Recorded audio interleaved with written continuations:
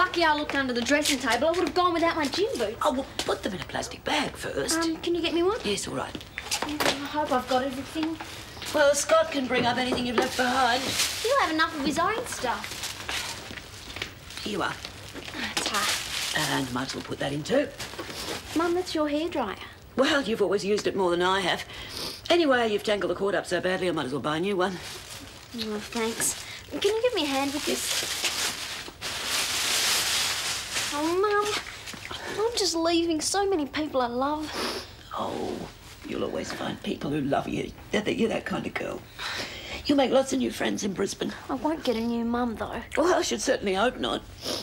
Mum and Dad will look after you. Oh, I miss you so much. Oh dear. Sorry for interrupting.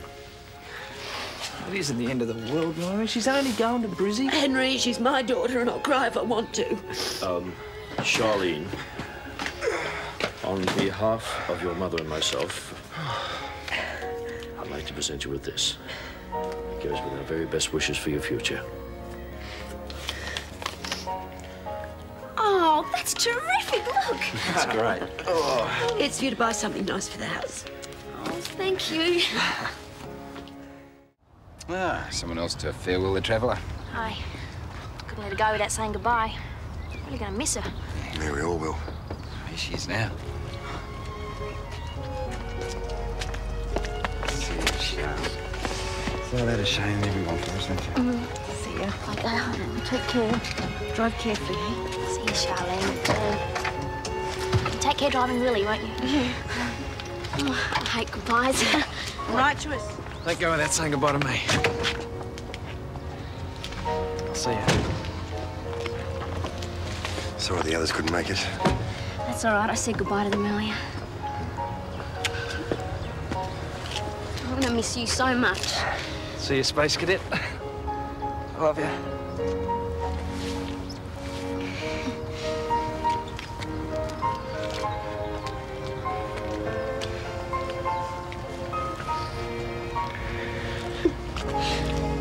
Oh.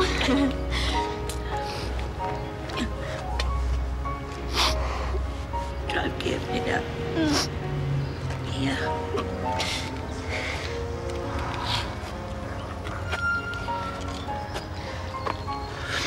I'll be with you soon, okay? I love you. I Love you too.